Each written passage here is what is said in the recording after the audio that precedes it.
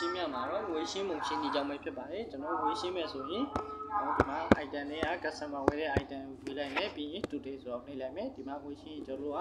cash နဲ့လည်းရှင်းလို့ရတယ်လို့ကျွန်တော်တို့အာ KP နဲ့လည်းရှင်းလို့ရပါတယ်